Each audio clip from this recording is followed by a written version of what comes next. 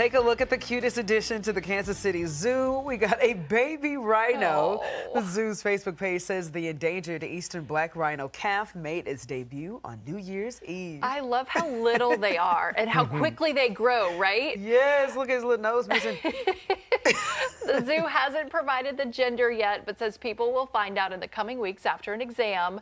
The zoo says once they know the gender, they'll welcome help choosing a name. Now, there are only about 700 black rhinos left in the world, Oh, wow. so we're adding one more. yes, I can't wait to see. I hope we get a picture of him when he gets his little horn on his face. You know, I'm, that's like Yeah. throwing me off. I did not know they came without the horn. I, I didn't either. No, Thank learn- goodness for that mom. Yes, that would be painful. yeah, no, you learn something new every day, I Look guess. at that little cute, cute rhino. It is, at this point at least.